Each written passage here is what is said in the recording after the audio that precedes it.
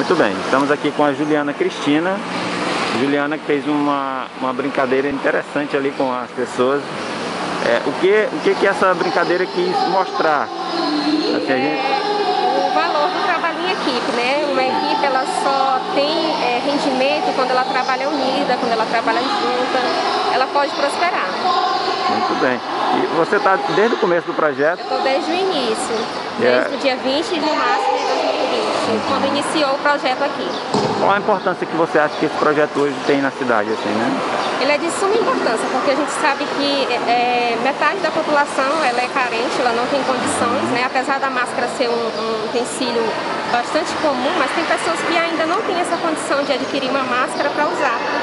E aí, quando a OMS liberou o uso de máscaras caseiras, o nosso prefeito ele teve essa ideia, né, essa iniciativa de elaborar a máscara caseira para doar para a população.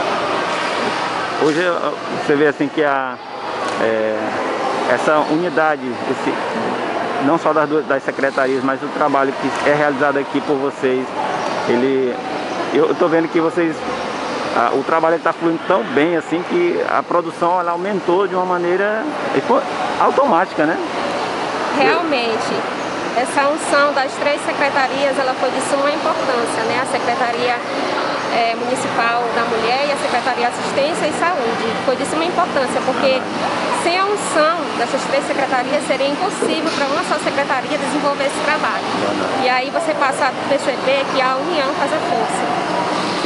Você no final aí você, você teve, teve dois agradecimentos, né? E, e também teve duas graças, digamos assim, alcançadas, é isso? Eu queria que você falasse um pouco dessas duas.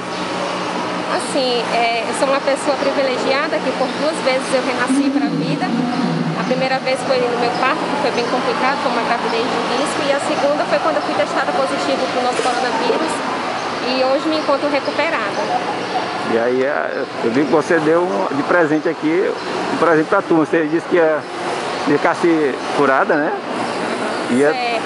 Qual é, o que, qual é o presente aí para o é pessoal assim, aqui do... Como a emoção de estar viva por duas vezes foi tão grande para mim, eu decidi, é, junto com meu padrinho, liberar essa viagem, né? Para todos os meus amigos, para todos que estão aqui durante esses 90 dias, lutando, trabalhando, porque assim, é muito fácil você fazer uma festa, você tirar foto, Verdade. você preparar aquilo tudo, mas assim, você está aqui no dia a dia, é. na luta, deixando sua família em casa com aquela incerteza de que se você vai ou não adquirir essa doença, como que seu organismo vai reagir.